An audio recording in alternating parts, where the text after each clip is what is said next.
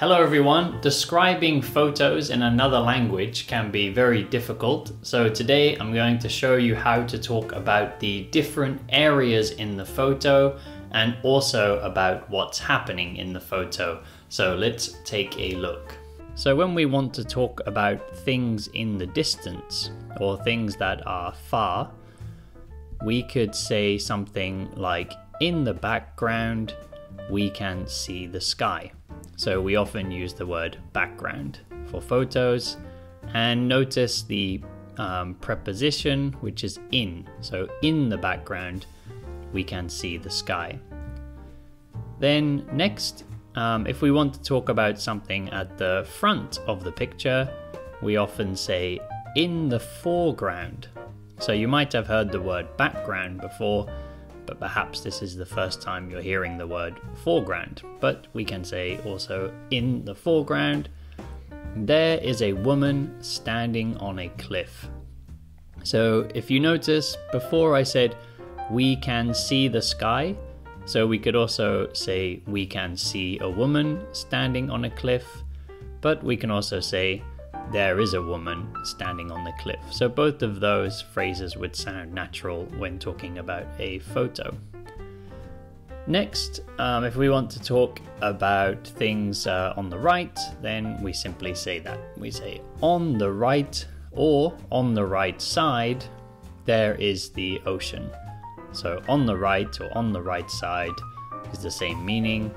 Um, again, we can just say there is the ocean. And again, notice the preposition.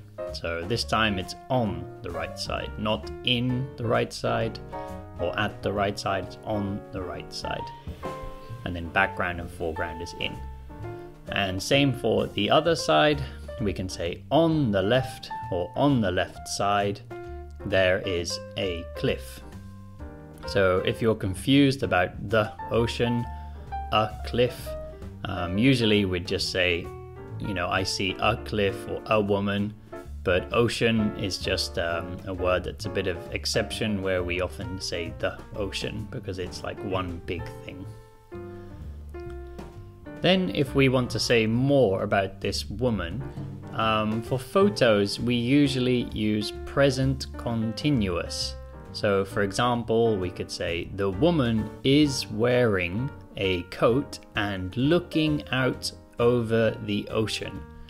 So, because pictures are kind of frozen in time, it's almost like the actions are happening now, so we usually use uh, present continuous when talking about actions in photos or things that people are doing in photos. So the woman is wearing a coat and looking out over the ocean. So looking out over um, is might be a bit confusing, but this is um, the expression we use when somebody is high up and they're looking down across a landscape or over a view. Okay, so that's enough for that photo. Let's take a look at another photo so we can see some more ways to talk about different parts of the photo and also the things that we see in the photo. Here is our next photo and to begin explaining a situation we can say something like here we can see a marketplace. And then if we look at some different positions that we didn't see last time, then we could say something like in the top right, there are some clothes hanging on a rack. So last time we had on the right or on the right side, but here if we're focusing at the corner, we can say in the top right, there are some clothes hanging on a rack. And if we look at the opposite corner, then we could say in the bottom left or in the bottom left corner, there are some flowers. So again, just notice the preposition. We've got in the top right and in the bottom left. Um, then if we want to talk about the middle of the photo, then we can say in the center, or you could also say in the middle, there is a woman speaking to a teenager.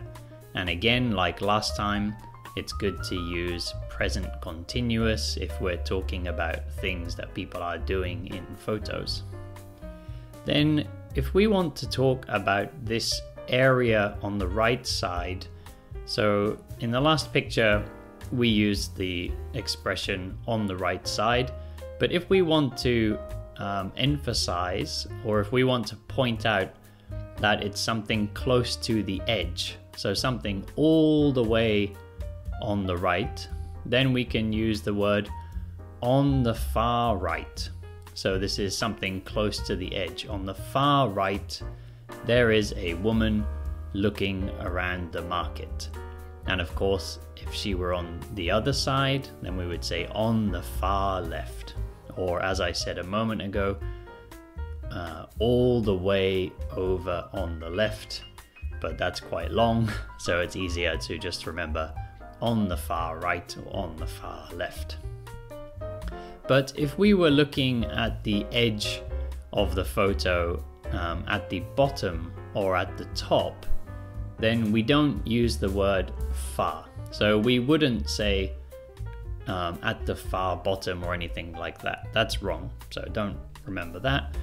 We would say at the very bottom so here, for example, at the very bottom, we can see a concrete floor. So this woman is standing on a concrete floor. So same for the top, we would say at the very top. So if we were talking about, for example, these baskets hanging here, we could say um, at the very top, there are baskets hanging uh, in the photo. So yeah, just remember far right, far left, very bottom, very top and pay attention to the prepositions, so at and on and in. So it's good to take notes of these things. And that's enough for this photo. So let's take a look at a, another photo. And next time, um, instead of focusing so much on the areas of the photo, going to have a little more at how to explain things that are happening in the photo. Okay, so here is our last photo for this video and after this we'll have a look at some general rules and uh, revise or remember some of the things we've learned in this video. But uh, first let's take a look at this one.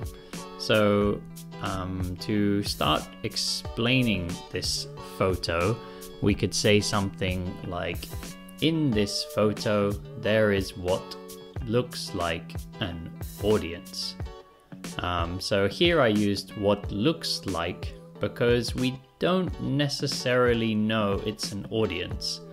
If you are very sure, you could say there is an audience, but you know, this could be a protest or a riot or a party. Um, it could be different situations, but it looks like an audience. So you could say this looks like an audience, or you could say, in this photo, there is what looks like an audience.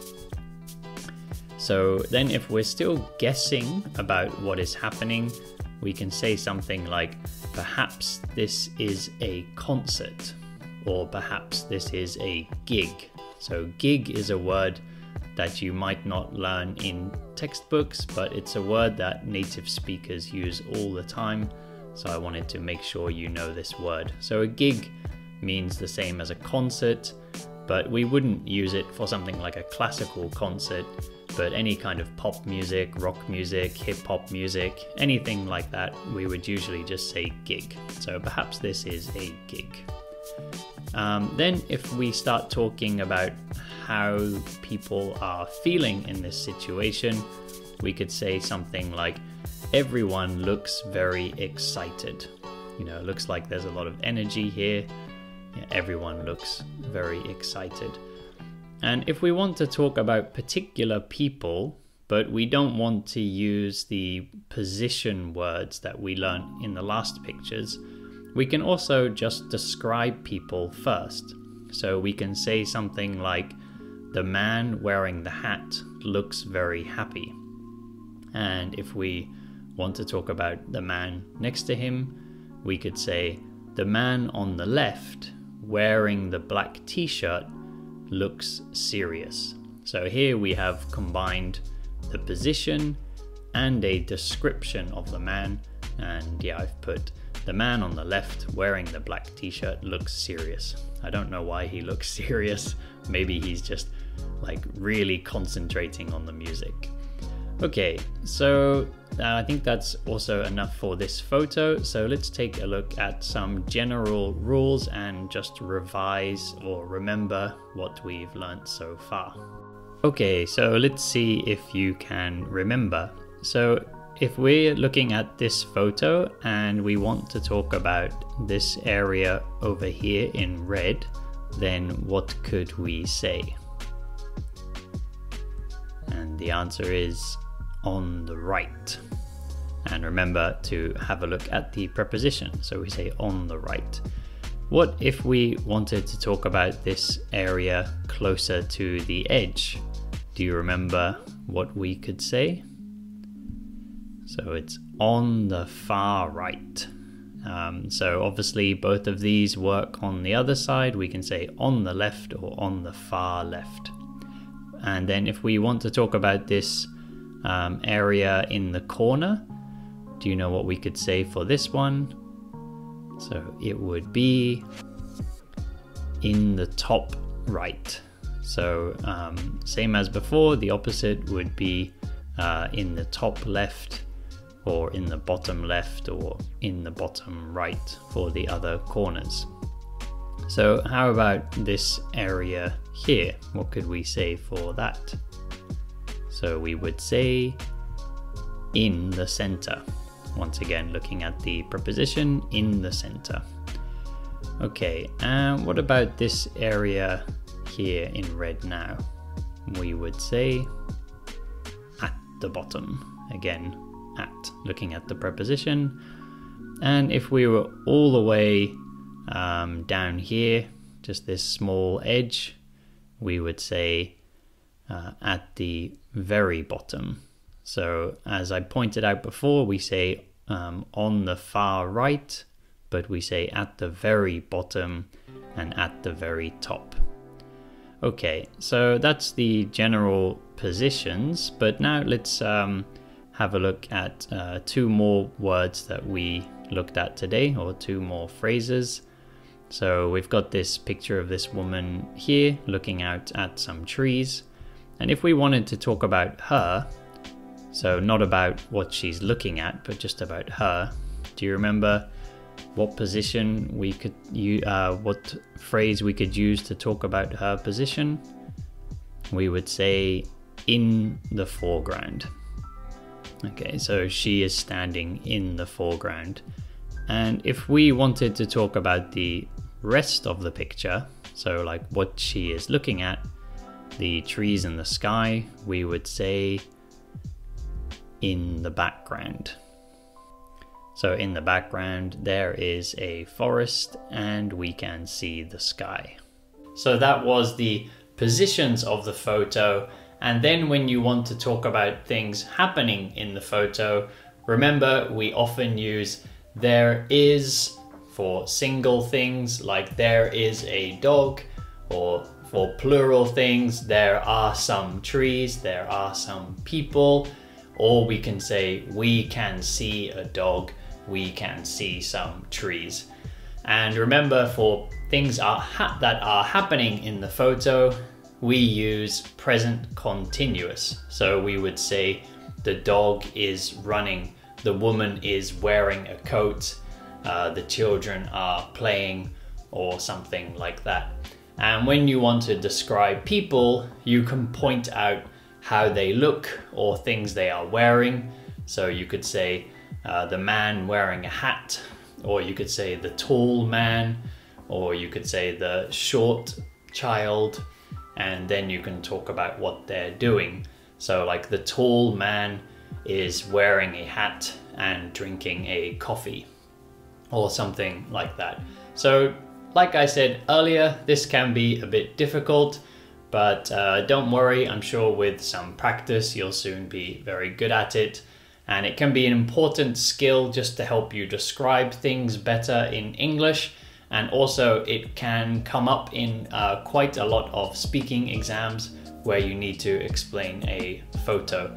Okay, so keep up your studies. If you like this video, don't forget to like. Also, uh, please leave a comment. You can tell me which phrases you thought were useful or new to you, or the ones you knew already. Or if you have any questions, then please put them down there as well, and I will try to answer all of them.